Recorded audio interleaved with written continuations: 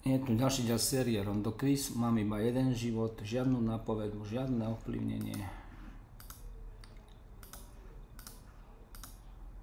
Ako sa volá krstný meno? Významný astronom Hubble. Edwin Hubble, Albert Ernest. Edwin alebo George? Dáme Edwin.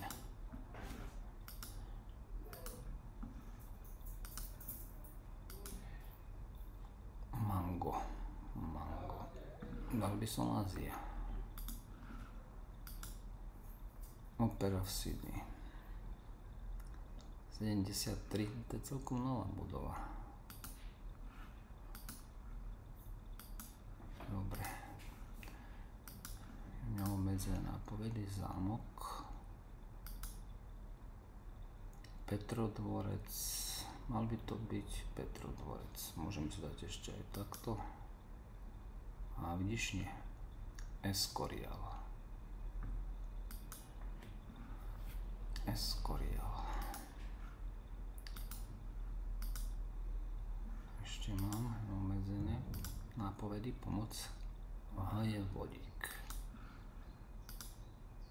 Norsko. Norská koruna by mala byť. Aliaška patrí k USA.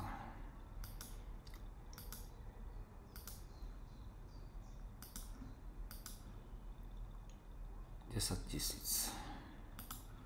10 krát tisíc. Ondřej Sekora.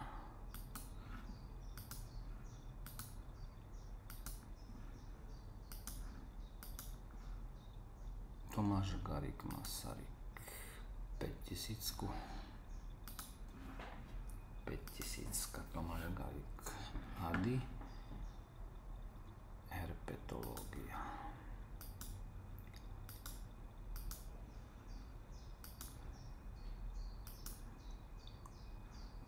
ideme takto Ačko